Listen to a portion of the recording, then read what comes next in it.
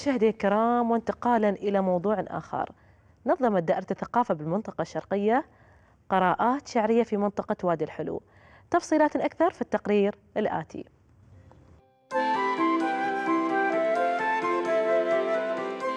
نظمت دائرة الثقافة في المنطقة الشرقية جلسة حوارية وقراءات شعرية تحت عنوان تأثير الشاعرة في الساحة الثقافية الأدبية للشاعرة نايلة الأحبابي وذلك في مجلس والي وادي الحلو. نشكر دائرة الثقافة في تجسيدها لرؤية الشيخ سلطان بن محمد القاسمي في دعم المجتمع بهذه الجلسات الحوارية والقراءات الشعرية والحوارية الثقافية التي تدعم وتنمي يعني مسيرة التطور والازدهار والنجاح أيضا بحيث أنها تسلط الضوء على قضايا مجتمعية مهمة وكذلك في يعني الوصول إلى حلول تدعم مسيرة وتدعم يعني النهضة من خلال التركيز على النشأ في حفاظهم أيضا على الموروث الشعري. تضمن البرنامج محاور عدة منها المبادرات الثقافية والأدبية وأهم إصدارات الشاعرة الأدبية وتجربتها في الشعر الفصيح والنبطي. كذلك تناول البرنامج قصائد تبادلها مع متذوقي الشعر والشاعرة لها عدة مبادرات منها مبادرة استدامة كتاب ومبادرة ديوان الخمسين وأوضحت نايل الأحبابي أن الشاعرة الإماراتية وصلت إلى أماكن متقدمة أثبتت وجودها في الساحة الشعرية وإضافة إلى الجلسة تم استعراض أعمال الشاعرة الفنية المميزة طبعا الشعر موروث جزء أساسي من موروثنا الشعبي والأدبي اللي نحن يجب علينا أن يعني نكثف الفعاليات المتخصصة في الشعر النبطي وهذا طبعا ما نلمسه في إمارة الشارقة والمناطق التابعة لها بدعم صاحب السمو الله يحفظه الشيخ دكتور سلطان بن محمد القاسمي. الشعر هنا في يعني دائما في المقدمة ومن الأساسيات ومن الأولويات اللي يحظى برعاية ودعم يعني مباشر من صاحب السمو الله يحفظه ويطول بعمره. يهدف هذا البرنامج إلى تعزيز قيمة التبادل الثقافي والأدبي. وترسيخ مكانة الشعر والتعرف إلى أنواعه وأهمية نقله للأجيال القادمة.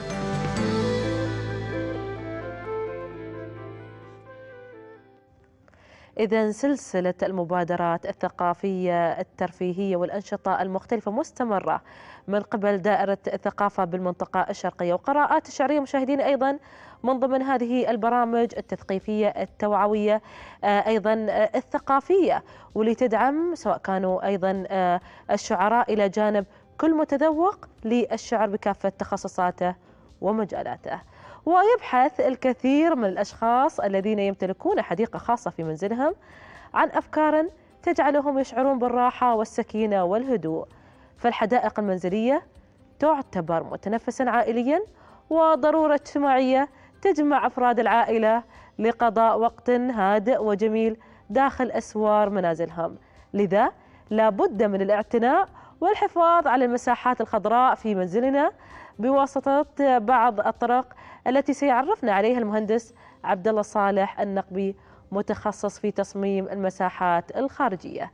ويسعد صباحك مهندس عبد الله. يا مرحبا يا مرحبا أستاذ عاشور يا مرحبا بك ويانا في برنامج صباح شرفنا ونشكر استضافتكم لنا في قناة المميزه صراحة واللي دائما يوم من ندخل على الوالد ولا الوالده الله يحفظهم حاطين قناة الشرقية و... يسعدنا ويشرفنا اي والله صدق والجميع صراحة مفعلين دور الله يبارك القناة بشكل جدا مميز وإحنا دائما نسعد في ولله الحمد هذا شرف لنا. إي نعم إن نحن أيضا ندعم أبناء المنطقة الشرقية الله يعزكم اللي متخصصين في كافة المجالات. الله يعزكم منهم الله يعزكم. الأمور الهندسية والأمور التجميلية الديكورات اليوم يعني أيضا حديثنا جمالي لكن عن الفناء الخارجي بالضبط. أو الحديقة الخارجية. بالضبط. وما شاء الله هذه من ضمن الأمور اللي الله يبارك كذلك دائما أنتم مميزين. يعني المنظر الخارجي أول شيء جذب. أول أول ما دخلنا جذبنا ما شاء الله الفيو الخارجي. نفس نفس ما استشعرنا المناظر الخارجية والمناطق الخارجية. لها دور كبير في أن إعادة آه، نفسية ال- الإنسان من الضغوطات الأمور اللي صحيح. يحصلها مثلا في في الحياة اليومية آه، سواء على الصعيد مثلا آه، ال- العملي الشخصي ايا كان مجرد ما أن الإنسان يقضي وقت في في في الطبيعة برا آه، بشيء هو يحبه هذا الضغط الاسترس كله رب العالمين سخر لنا ال- ال- الأمور هذه كلها صحيح. لل- للإنسان وهذا سبحانه. في الحقيقة ما استشعرناه أيضا في الجائحة آه، اللي هي. كوفيد 19 بالضبط يعني لما كنا ملازمين أيضا المنازل كنا بس عايشين في الوص... في الحدائق آه، بالضبط أو الفناء الخارجي في لهذا المنزل بالضبط نعم. وهو هو مفهوم مفهوم المساحات الخارجية كذلك قد يكو يكو يعني يكون بعض الناس يقول لك والله أنا ما عندي مساحة كبيرة في الحوش. لا صحيح. بس مثلا أنا عندي مثلا بلكونة عندي فوق السطح. هذه كلها أماكن تعتبر خارجية. آه، أقدر إني أنا آه، مثلا أستغلها في إن أنا أسعد نفسي وأسعد أسرتي. صحيح. يعني آه، على سبيل المثال في فترة كوفيد آه، آه، جميل جزاك الله خير أختي عائشة طرحتي فترة كوفيد. لأن فترة كوفيد كانت يعني من أحوج الناس ان يعني يستغلون فيها الإمكانيات الم- المتاحة والموجودة. صحيح. فاستغلال يعني كانت الله الله يحفظها الوالدة تقول لنا آه، يلا بنطلع رحلة في الحوش. لأنه ما في مكان غير لأنه ما الحوش. في مكان غير الحوش. فتقول يلا عبد الله آه، اطلع وضبط لنا المكان.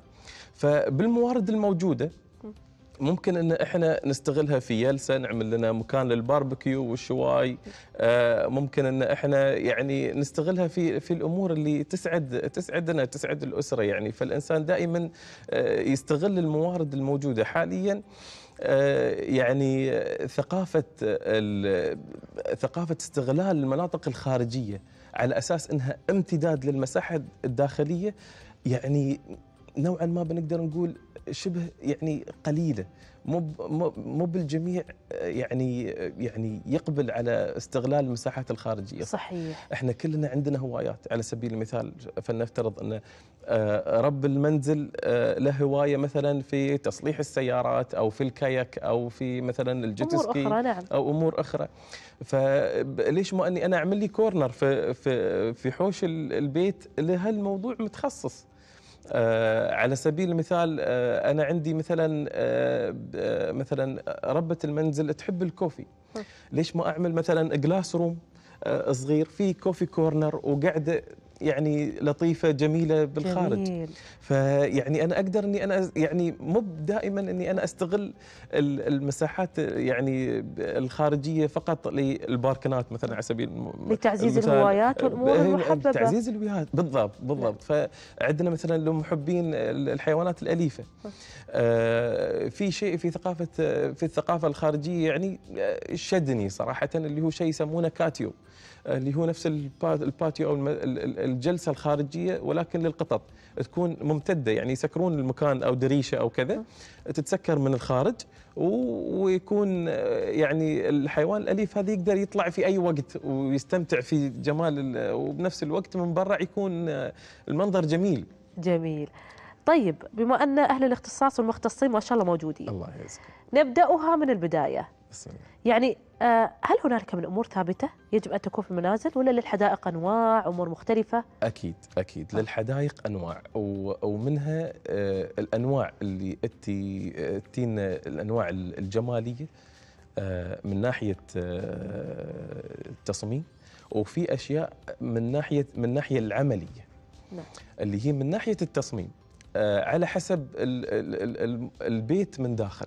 ومثلا آه، تصميم البيت مودرن أو كلاسيكي أو أو ايا كان التصميم من داخل نسحب الجو هذا يكون في الخارج بحيث إنه يعني أنا ك يعني يعني كصاحب منزل ما أي يعني أدخل في في جو بعدين ما تعرف داخل- يعني شو داخل هل أنه الحديث أو العصري بالضبط أو بالضبط حتى الكلاسيكي؟ بالضبط. يعني يجب اختيار نوع آه، نوع. واحد من الأنواع هذه. بالضبط فهو فهو النوع ال- ال- الداخلي هو نفسه يكون امتداد للنوع جميل. ال- الخارجي. جميل. آه هذه النقطة الأولى. النقطة الثانية واللي هي تعتمد على آه هذه قد تكون ثابتة. الن- النقاط ال- اللي ممكن تكون ال- ال- المتغيرة اللي هي آه، يحدها راعي آه، البيت نفسه.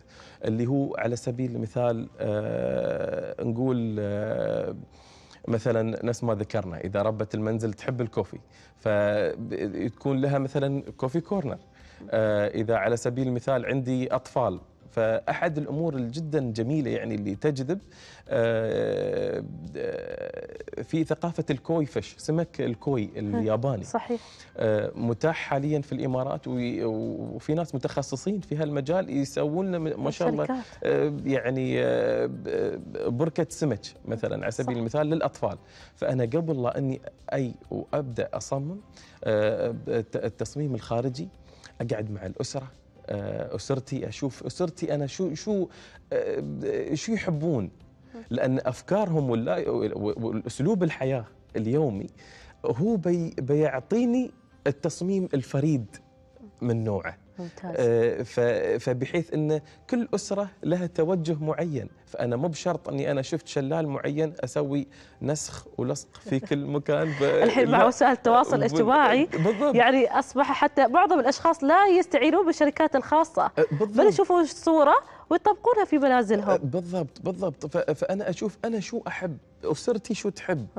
يعني أنا إذا عندي حتى لو عندي على سبيل المثال طفل ثلاث سنين آه، طفل بنت ولا ولد؟ يعني أنا ممكن إني أنا أعمل لهم آه، مع بعض نشوف آه، عن طريق آه، سواء التواصل الاجتماعي اليوتيوب أو غيره كيف إني أنا أعمل خيمة؟ وأسوي خيمة خارجية للأطفال مثلا أو إني أنا أعمل آه، ممر صغير إذا عندي مساحات جميلة وكبيرة برا. ممكن إني أنا أعمل آه، مساحات للسيارات هذه اللي الصغيرة تكون أخصص لهم على البيت إنهم يدورون شارع صغير مثلا.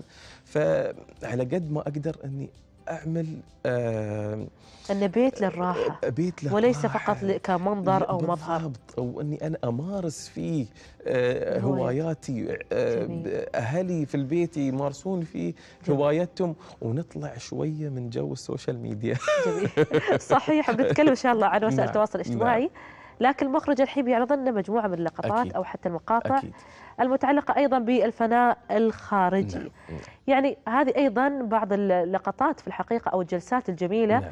بجانب حوض السباحة فلو نتحدث أيضا عن الأمور طيب نشوف الخشب موجود الأشجار موجودة نعم. جونا المهندس عبد الله تقريبا حار صحيح معظم الوقت صحيح فايضا يحتاج إلى أمور أو لربما معدات توالم أو صحيح. تناسب بالضبط هذا الجو فلو نتحدث أيضا عن الجو الحار ما هي الأمور التي ممكن تدوم أكيد. وتلائم هذا الجو أكيد آه عندنا من ضمن الأمور اللي آه ال- ال- ال- الجميلة والثقافات ال- ال- آه، اللي كانت موجودة عندنا سابقا آه في صنع آه، في في صنع اللي هو التهوية خلينا نقول ال- ال- ال- الطبيعية اللي هي مسألة آه آه نفس اللي كانت آه، في البرجيل.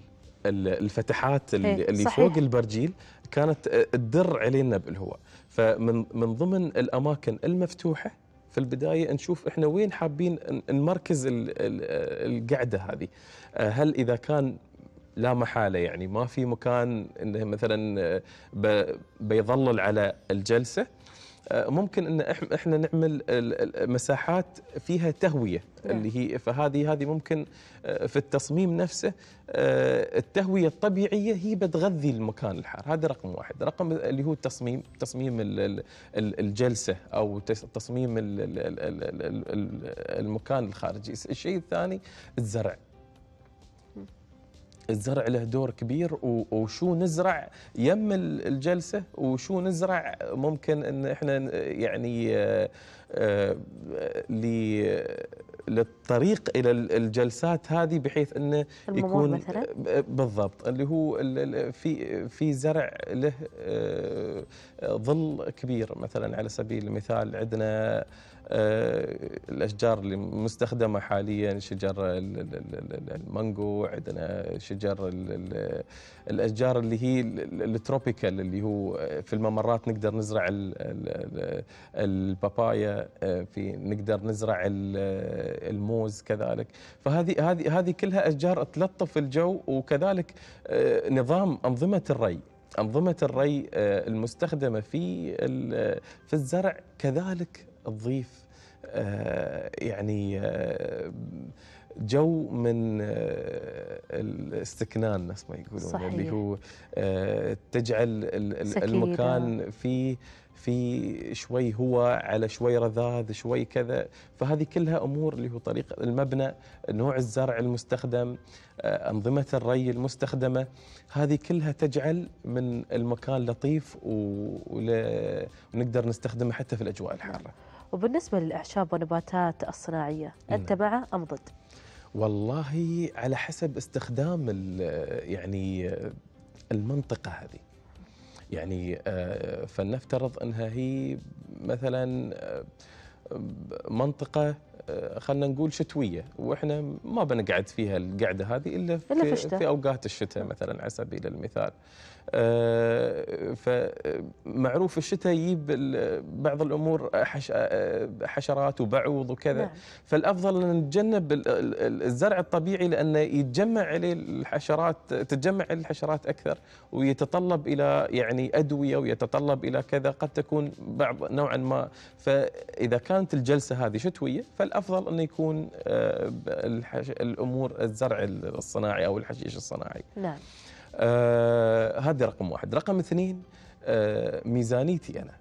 آه هل أني أنا مستعد أني أنا أعمل الصيانات الدورية باستمرار؟ هل أني أنا مستعد أني أنا آه عندي الكادر المزارعين أو كذا في البيت انه يهتمون صحيح. في ال في ال في الأمور الطبيعية هذه أو إني أنا بس مجرد إني بحط هالزرع وقد إني أنا يعني آه، في البداية بس بهتم فيه وبعدين لا يعني على أساس إنه مكان جديد فهذه هذه هذه هذه هذه أمور أساسية إن إحنا ننظر فيها في نعم. ال- يعني بالفعل يعني هذا الممر بحد ذاته ممر سعادة أكيد. يعني بالأشجار ال- بالأمور أيضا المزروعة نعم فلو نتحدث أيضا عن الخشب الذي يحبذ استخدامه بما أننا نحن نشوف الآن مظلات خشبية قواعد نعم. خشبية أرضيات خشبية أيضا في هذا المنزل العصري. نعم آه، هذا هذا أحد ال ال ال ال ال الأشخاص جزاهم الله خير عندهم اهتمام في آه، في مسألة آه، ال- ال- القهوة ومسألة ال- فحبوا إنه يعملون لهم كورنر في في حوش البيت ما شاء الله عندهم مساحة جدا جميلة صحيح. الله يبارك فالخشب اللي اللي بالخارج حبذا إذا ما كان ما يعني ما كانت تضربه الشمس حبذا يكون آه اللي هو ال PVC اللي هو الأشياء اللي ال- ال- ال- جاية بلاستيك البلاستيك اللي هو شكل الخشب. نعم. آه، وهذا متوفر وبوفرة أما إذا كان ال- ال- المكان نفسه آه، يعني معرض للشمس أكثر ف آه، يعني أنا أشوف إن في أشكال للبلاط نفسها تكون شكلها خشبي. نعم. آه، آه، وتعطي ال- جمالية إيه، ال- الخشب. ويكون استخدامها في كبديل للخشب في هذه الأماكن. ولكن أني لمسألة اللي بيركب هالشيء لازم يكون ذو كفاءة عالية عشان يعطي الإيحاء هذا. لأن. المسافات تفرق اللي هو بين الكاشي وال وال بين البلاطة والثانية. المساحات هذه البسيطة ال finishing هذا يفرق. ف آه، عندنا عندنا اللي هو ال- مسألة ال- ال- ال- ال- ال stamp conc- concrete هذه اللي هو آه، بعيدا عن الأرضيات الخشب هذا نوع ثاني كذلك من الأرضيات المستخدمة خارج في الفناء الخارجي. آه، اللي هي الطبعات يسوون اللي هي مواد إسمنتية وفي طبعات معينة تطبع عليها بحيث إنه تبين على أساس إنه هي مثلا آه، أحجار جميل جنب يعني بعض. تعطي إيحاء آه، أيضا تعطي أيضا بالضبط. لهذه الممرات آه، عندنا أحد الأمور آه، اللي المستخدمة في الأرضيات وفي الممرات اللي هي مسألة ال- آه، آه، الروكس هذه. في آه، يعني مثلاً؟ أحجار بالضبط. آه، سواء انت على حسب تصميم البيت الداخلي. نعم.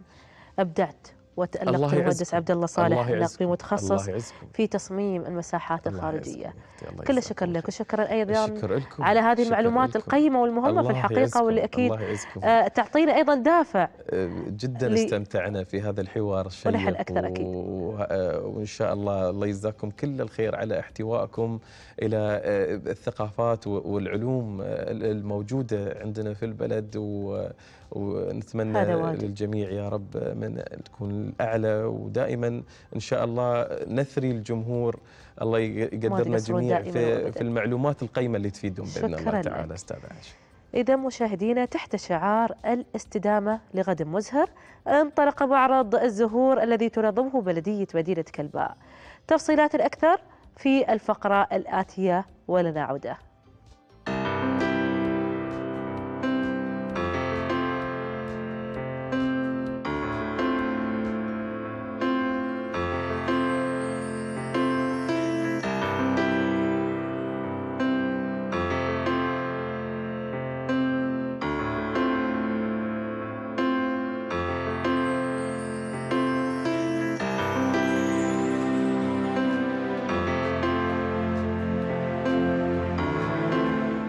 بعدد 375 ألف وردة. ينطلق اليوم معرض الزهور بمدينة كلباء بدورته الحادية عشر.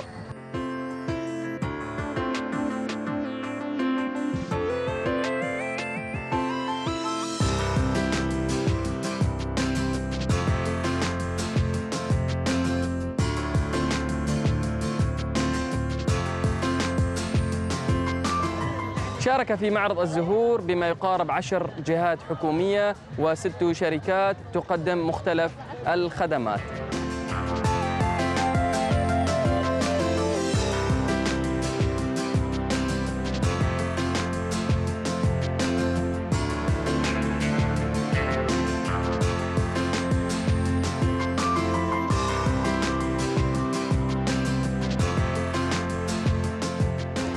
هناك العديد من الورش التي تقدم في معرض الزهور ومن ضمنها ورشة صناعة القلادات.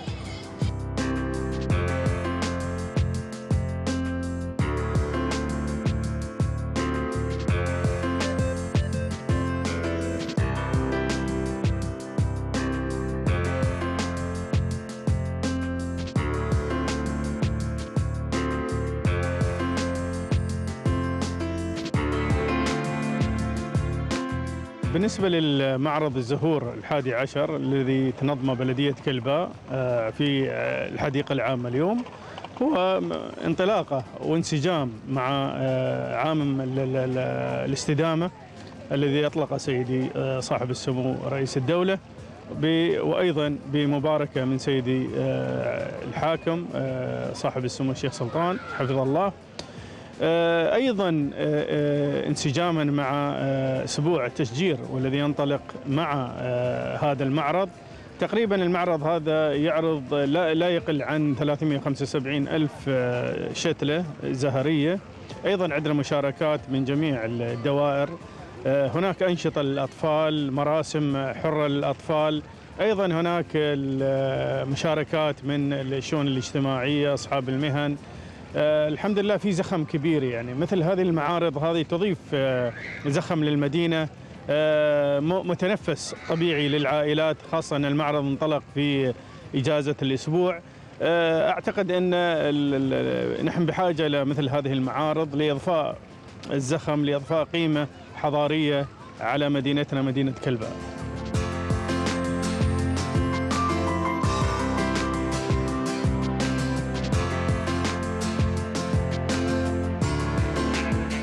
وأيضا من ضمن الفعاليات المتواجدة في معرض الزهور بمدينة كلباء المسابقات الثقافية التي تقدم على خشبة المسرح لكافة الحضور.